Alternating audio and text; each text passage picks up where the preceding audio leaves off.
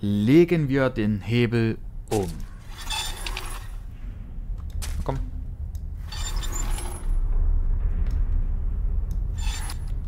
Der Hebel rührt sich nicht. Ich muss den Druck erhöhen.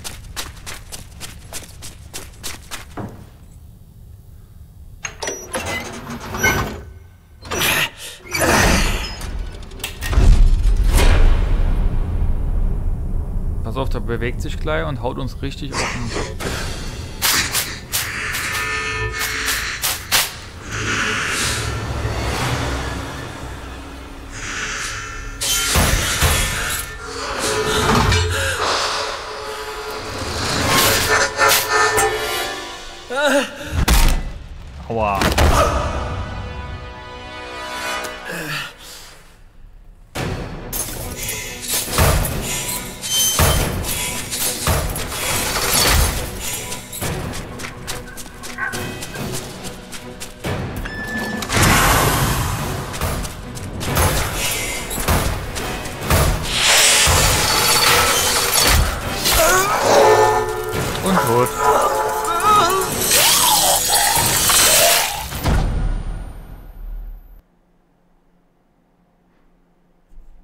Das verstehe ich noch nicht ganz.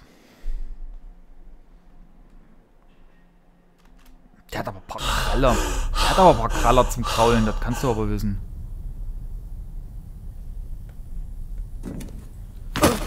Okay, ich finde es doch sehr interessant, aber auf der anderen Seite...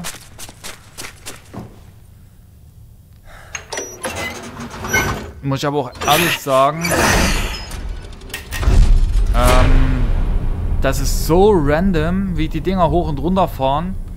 Ich war von allen Seiten eingeschlossen. Ich wollte, ich wollte bei ihm, bei ihm durchrennen, aber irgendwie war es das.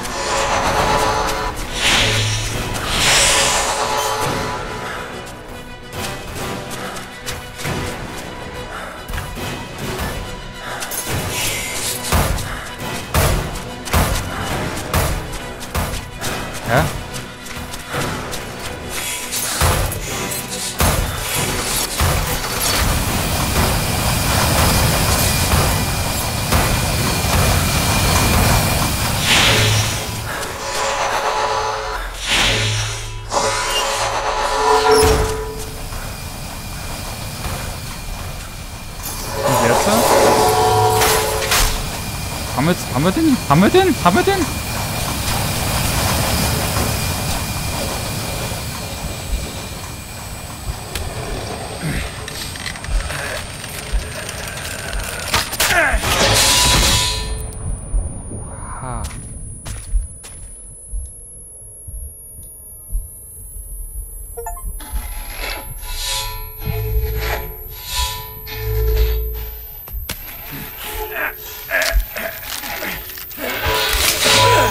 wieder der goldene Dolch.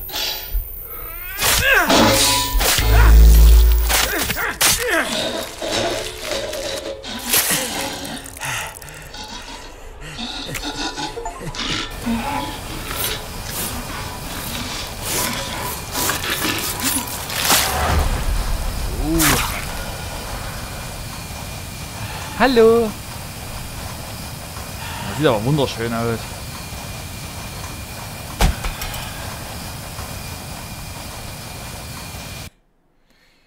Wir haben die Verderbnis vernichtet.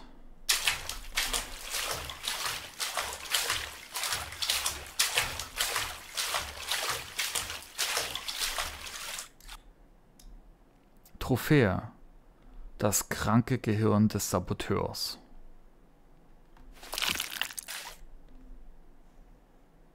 Haben wir es gerade gegessen?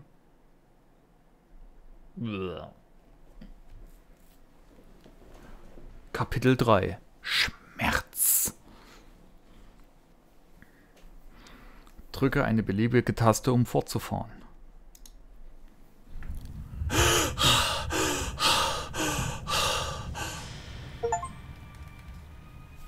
Pfad des Schmerzes.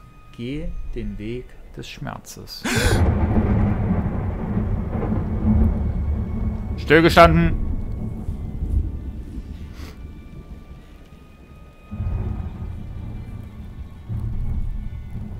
Okay, da liegt ein Buch jetzt da.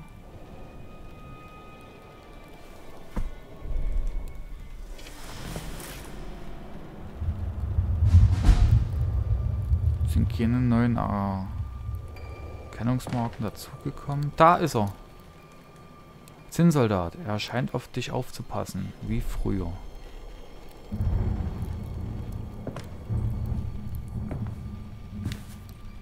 Ja, vielleicht gehe ich mit Christian. In Amerika, da gilt Freiheit etwas. Nicht so wie hier. Aber so eine Überfahrt kostet viel Geld. Wie? Du willst mitkommen? ich glaube nicht, dass das was für dich ist. Du kommst zu sehr nach Papa. Hey, jetzt werd doch nicht gleich sauer. Hey. Hey.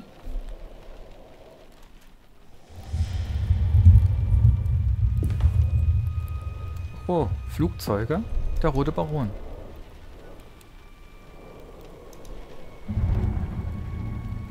Du hast es, hast, du hast es fast wieder in Ordnung gebracht. Und ja, dass dieser nette Herr dort hinten an dem äh, an, der, an der Wand, das ist der Rote Baron. Also der unter dem Spitznamen Roter Baron bekannt ist, der das, das, das deutsche Fliegerass. Mit den meisten bestätigten Luftsiegen. Ja, das ist der Herr. Paul von Schmidt verlässt die preußische Hauptkadettenanstalt im Kriegsjahr 1916 mit Höchstnoten und Empfehlungen für die Offizierslaufbahn.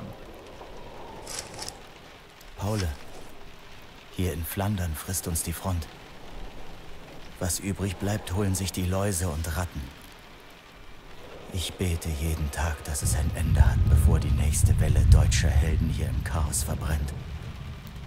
Bitte antworte mir doch einmal wenigstens. Dein Bruder. Hm.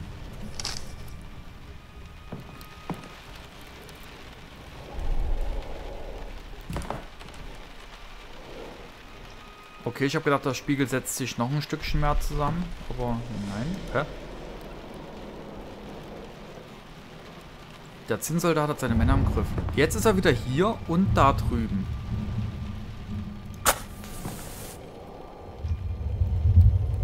Okay. Der Dolch ist wieder weg.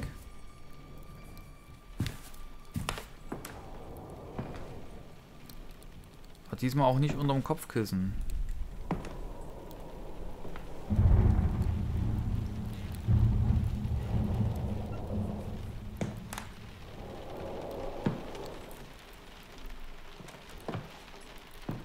frage mich jetzt, wo der Dolch hingekommen ist.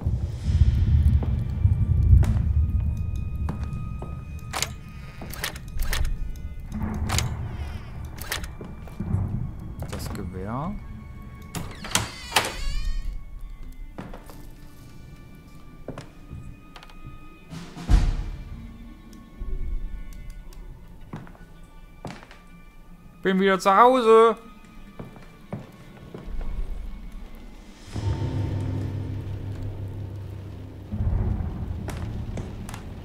Stacheldraht?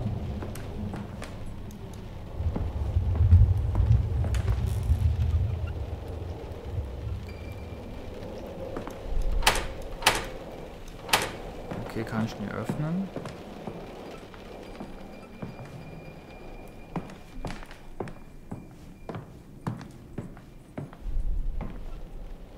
Ist auch abgeschlossen dieses Mal. Muss ich jetzt wohl schon auf dem Dachboden?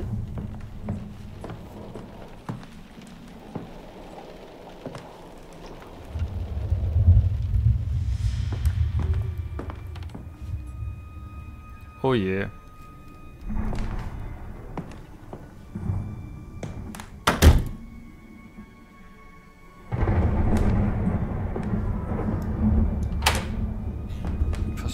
Verzerrte Stimme, hilf mir.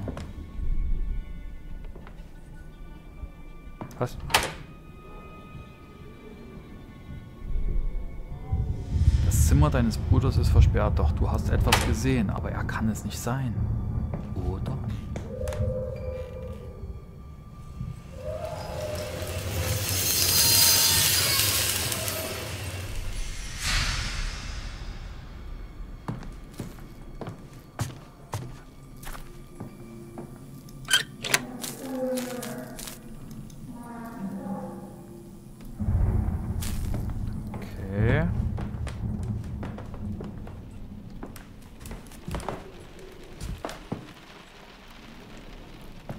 Wieso muss es immer, wieso muss es immer bei solchen alten Herrenhäusern regnen?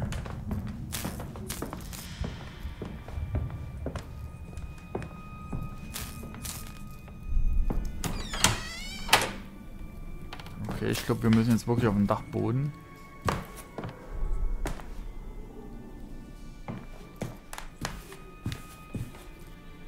Abgeschlossen. Abgeschlossen. Stühle, wir kommen hier nicht mehr durch. Hilf mir, bitte hilf mir.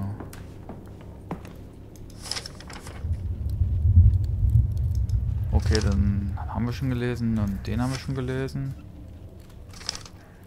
Gleich ganz am Anfang.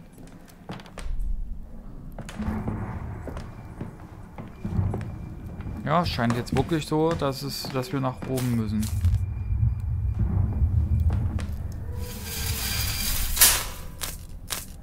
Okay, diesen Rollstuhl habe ich schon in so vielen Spielen gesehen. Genau dieses Ding.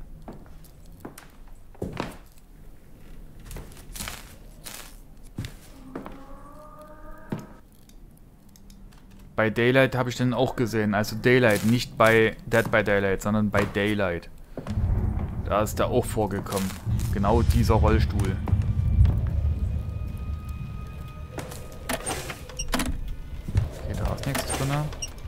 Nichts drin. So mit dem Ding.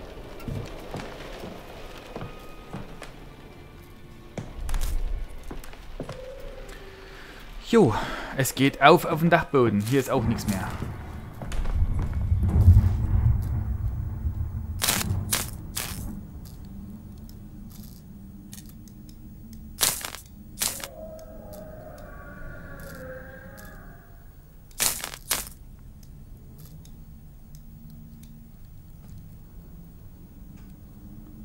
Schlüssel für den Lagerraum. Ähm.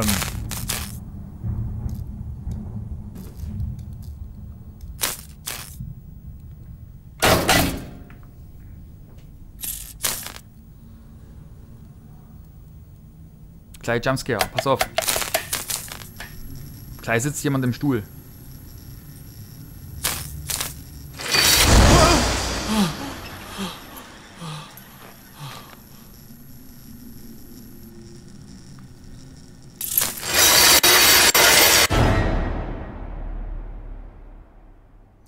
weit nach unten.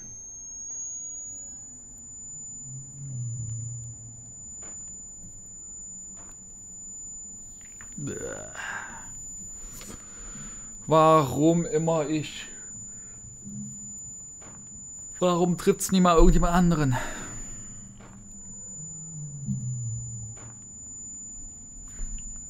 Das denkt sich die andere Stimme gerade hoch.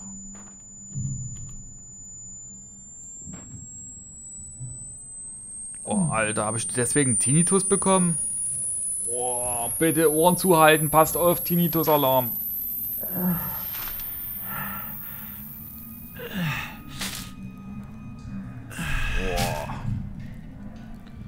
Das war ein sehr hässliches Unterrollstuhl ist weg.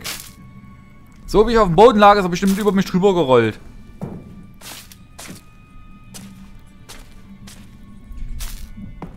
Hat sich Timmy den geholt und ist damit losgerollert.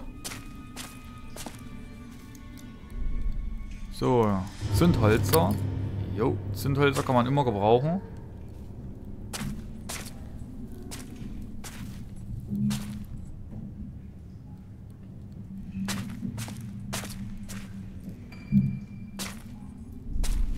Ist es blutig oder rostig? Eins von beiden.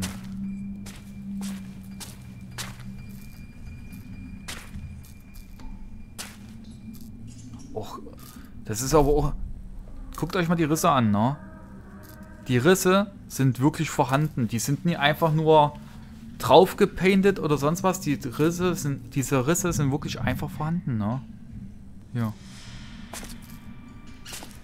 Schönes Detail. Normalerweise hast du dann immer so, so Schattierungen, die extra so aussehen, als wären da Risse drin. Aber da waren jetzt gerade richtig Risse vorhanden.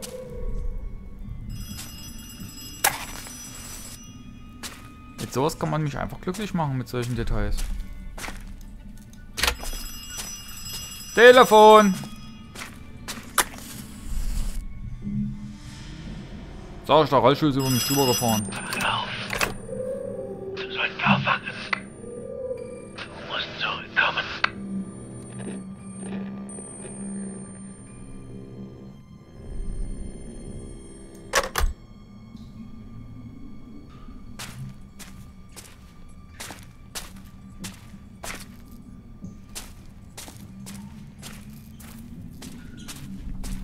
Hat mir das gerade gesagt? Oh, ein Koffer. War das der Soldat?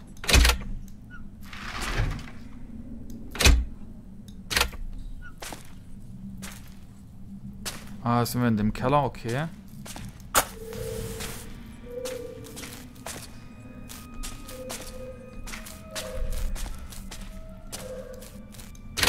Okay, da kommen wir nie rein dieses Mal. Oh. Du willst die Malerei zerstören, sie verbrennen, sie weckt Erinnerungen in dir, die du begraben hast. Grabenkampf.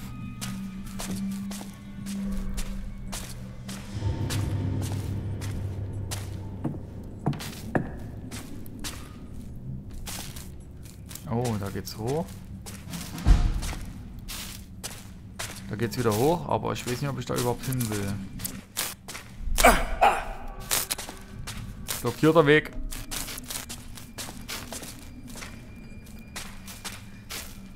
War ein bisschen schwer, die Treppe.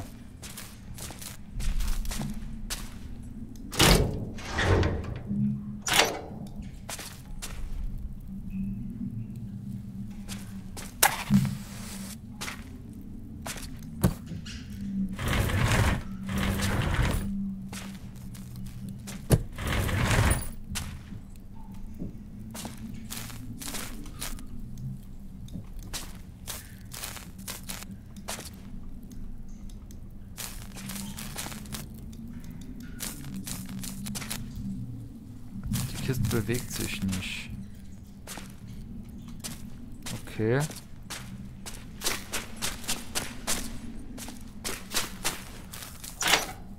Wie auch von drinnen rein.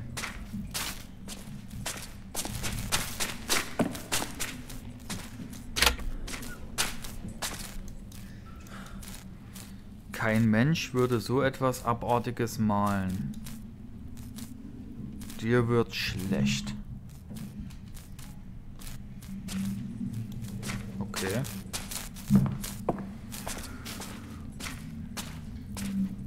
Übergeben tue ich mich aber jetzt nicht, deswegen.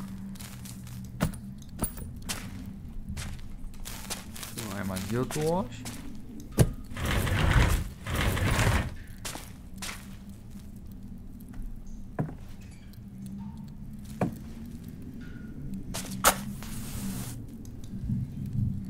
Nadel und Faden. Du hast Nadel und Faden dabei. Und Haut und Haare. Kurz wird dir übel. Die junge Frau, die Jungfrau Maria. Sie sieht traurig aus. Na, wäre ich in diesem Fall auch, wenn ich unten stehen würde. Ich weiß, dass ich dich nicht um beide bitten kann. Ich will, dass Johannes lebt. Bitte nimm den Paul bei dir auf. Oh er ist Gott. ein guter Junge. Ich schneide das Leben den Kuckuck ab und gebe es dem Johannes. Bitte, lieber Gott, hilf mir und bring Johannes zurück. Also sie will unbedingt den Johannes wieder zurückhaben, aber ich glaube, wir spielen Paul.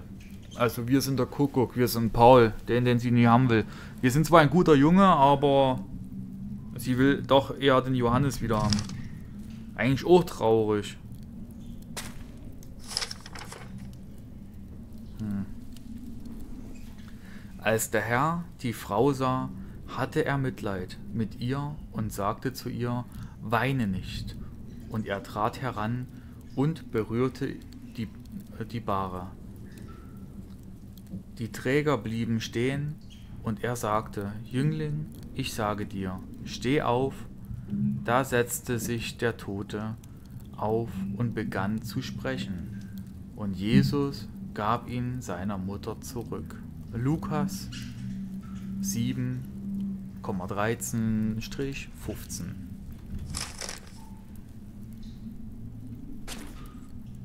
Ich weiß nicht, wie das ausgesprochen wird. Vers, bla bla bla. Äh, äh.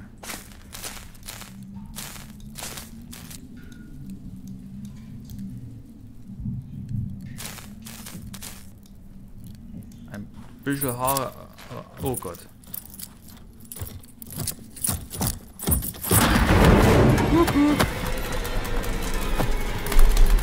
Alter!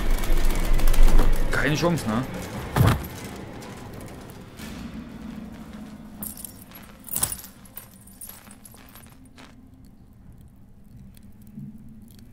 Denn das jetzt? Ich habe den Schlüssel zur blauen Tür gefunden.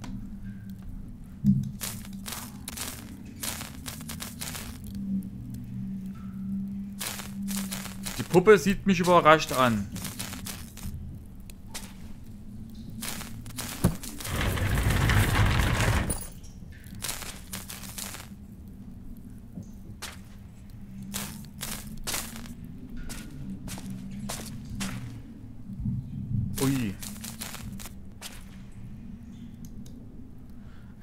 Aufkleber der Sch was?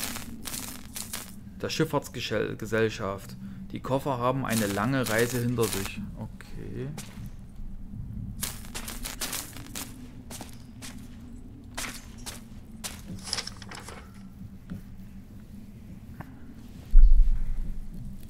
Notiz. Studienobjekte.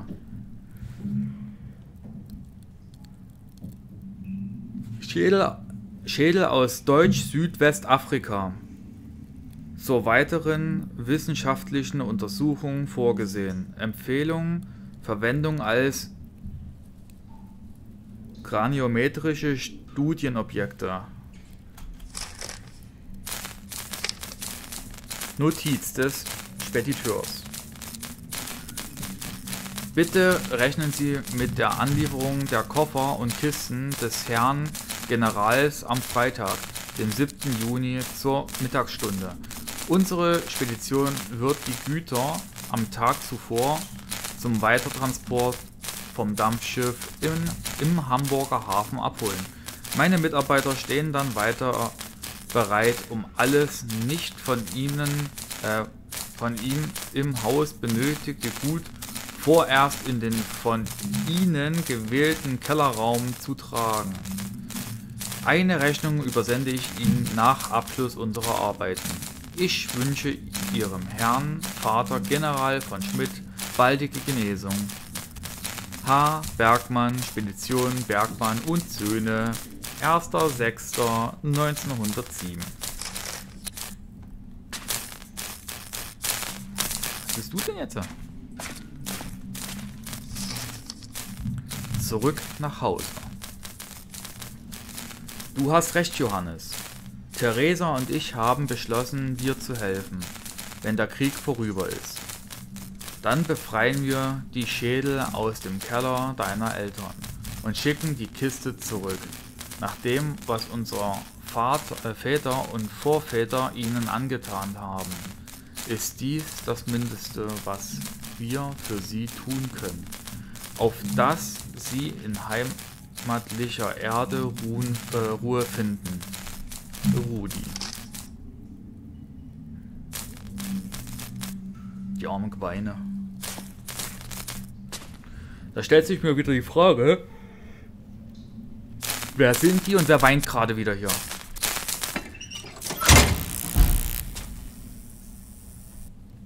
Okay. Finde einen Weg aus dem Keller.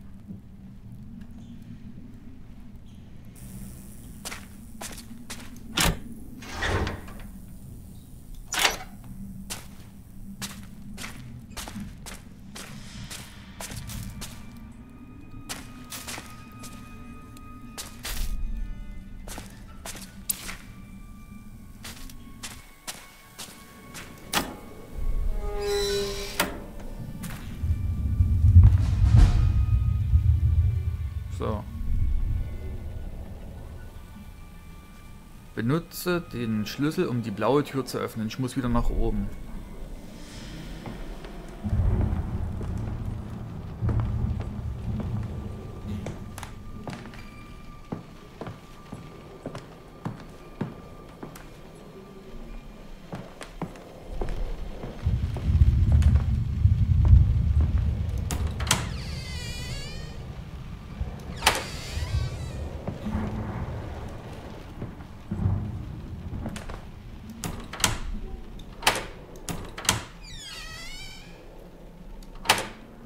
Allem unsere Mutter, die schleicht doch hier irgendwo rum.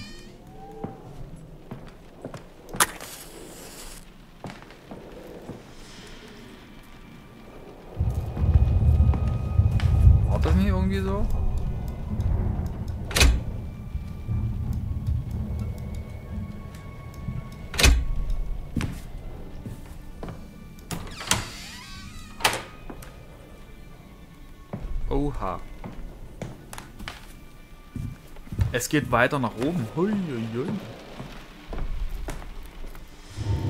Nee, da geht's nicht. Habe ich wieder irgendeinen Spuk verpasst?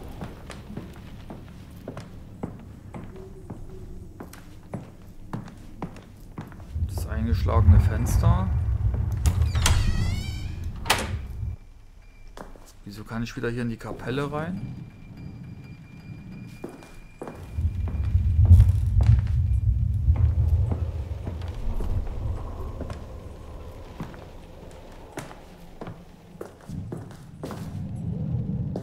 Na, gucke ich mich mal ein bisschen um. Das hatte ich schon gelesen.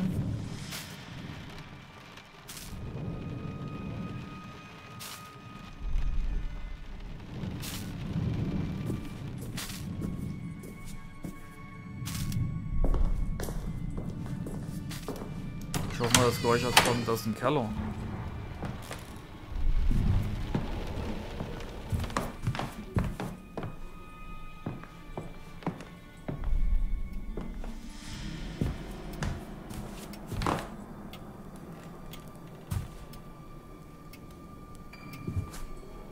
Jetzt bin ich gerade ein bisschen wieder angespannt.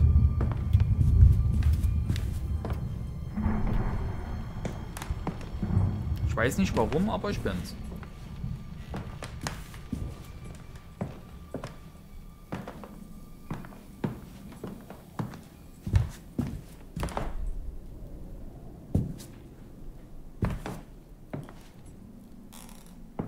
Ich frage mich, warum das alles offen ist. Aber ich keinen so richtigen Sinn darin sehe, hier lang zu latschen eigentlich.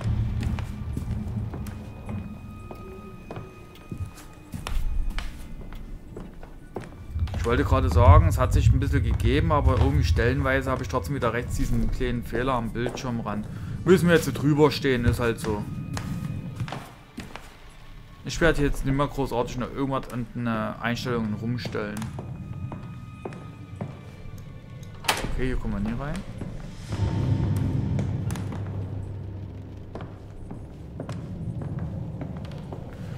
Und dann frage ich mich trotzdem, warum können wir jetzt hier gerade wieder überall hin, obwohl für uns alles abgeschlossen war.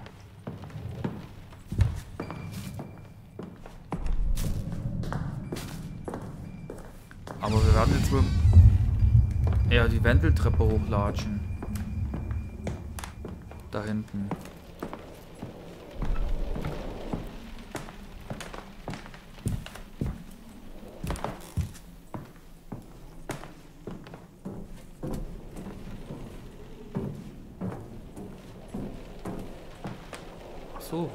Ist noch ein Zettel. Artikel, die Fabrik. Artikel vom 20. Mai 1906. Farbenfabrik Karl von Schmidt und Co. entgehen Konkurs.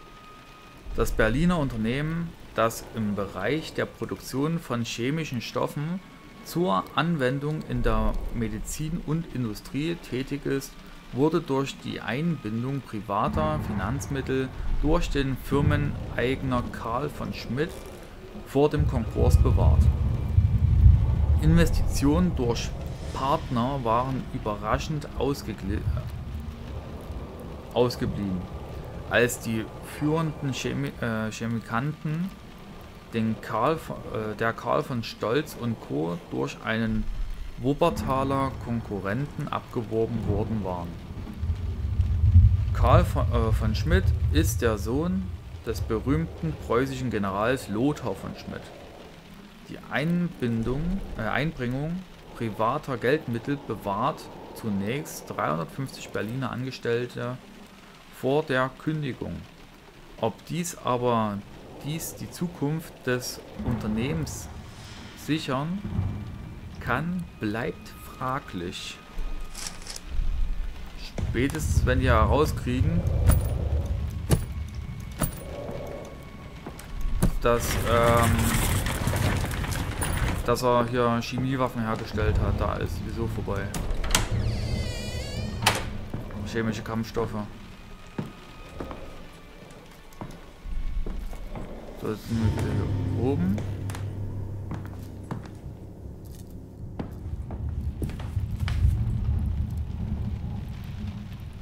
Gesagt, der Spiegel wird ganz, da ist ein Stück wieder ganz geworden, aber nicht komplett. gucken wir mal uns äh, an, was uns hinter der blauen Tür erwartet. Ein Gemälde.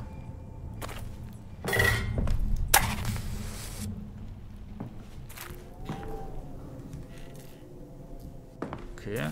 Das hat mich jetzt gerade ein bisschen erschreckt. Dieses Geräusch. Frühlingserwachen 22. In der Nacht, in der du die beiden gesehen hast, hat er nicht gelächelt. Okay.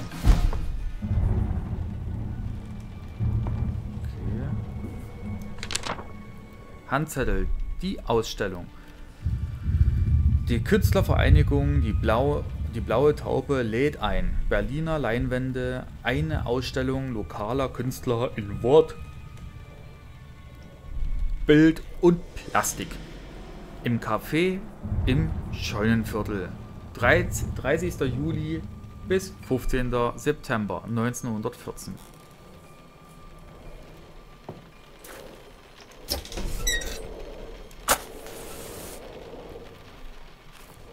Die, die Mutters Baum anschauen, sind verschieden und doch gleich.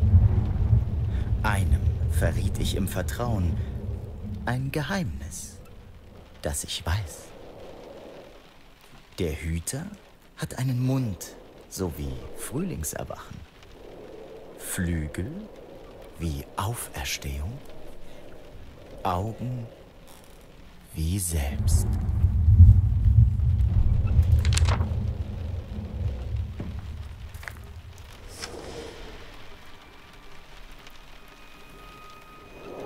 Die Taube und der Krieg. Lieber Johannes, wenn der Krieg einmal vorbei ist, bekommen wir unsere Anstell äh, Ausstellung, äh, bekommen wir unsere Ausstellung. Und sie wird schöner denn je. Ich habe deine Skizzen für unsere Plakataktion zur Unterstützung unserer Soldaten bekommen. Christian wird sie auch lieben. Ich kann nicht abwarten, wie Köpfe mit euch und Rudi zusammen äh, die Köpfe mit, mit euch und Rudi zusammenzustecken. Es gibt so vieles, das ich euch erzählen will. So viele Eindrücke von dem Weg zur Front. Aber bis dahin Briefe. Pass auf dich auf, Soldat. Sonst komme ich zu dir und flick dich zusammen. Ich werde in den nächsten Tagen schon als Krankenschwester eingesetzt. Deine Theresa. Vater, du verstößt mich nicht wegen der Nacht auf dem Dachboden, sondern weil ich Dissident in dieser Familie bin. Wärst du deinem eigenen Vater einer gewesen, wäre Mutter viel erspart geblieben. Du bist allein einem Toten treu, ja. Toter herrscht in diesem Haus. Sein Geist durchdringt es. Ich packe und ziehe bald aus. Dann bist du mich los. Eher ziehe ich in den Krieg, als in dieses verdammte Haus zurückzukehren. Johannes, Juli 1914.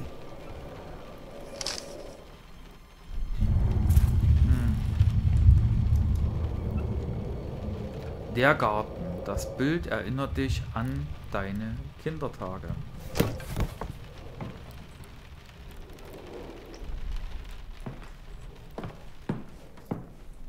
So.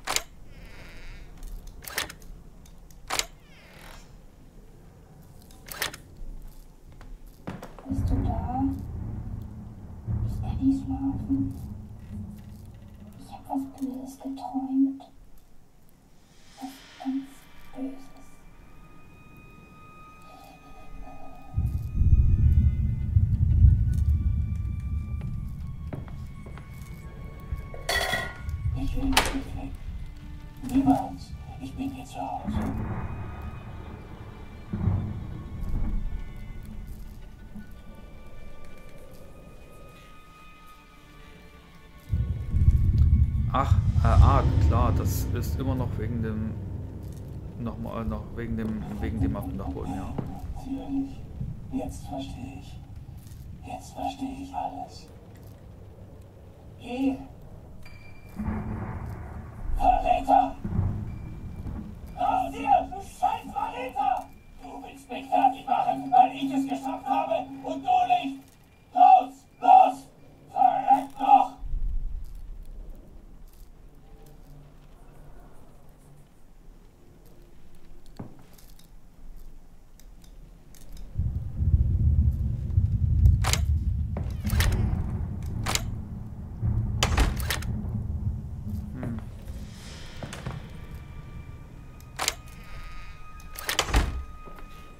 Okay, also wir müssen definitiv auf den Dachboden.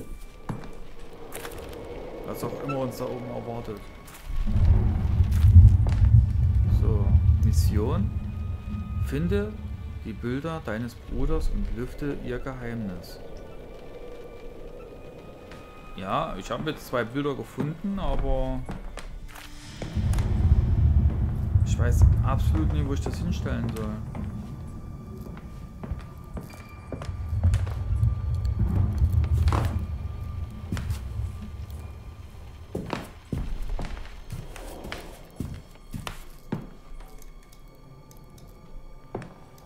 So, und das ist das Gegenstück gewesen. Alles klar.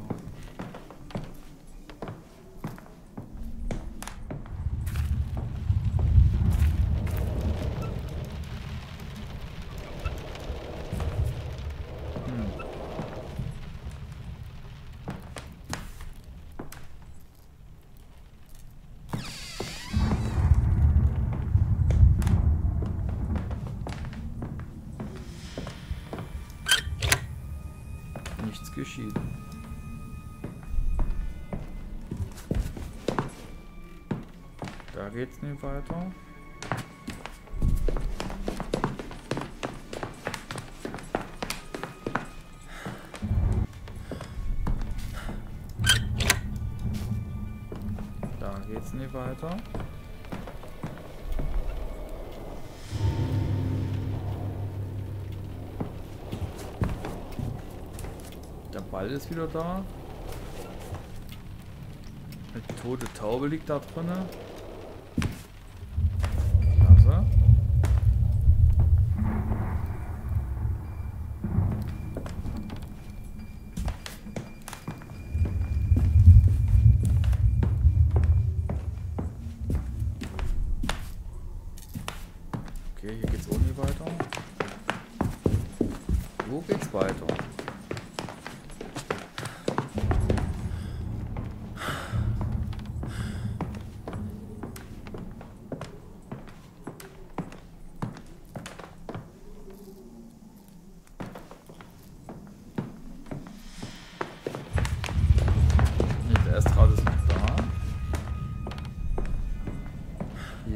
Durch.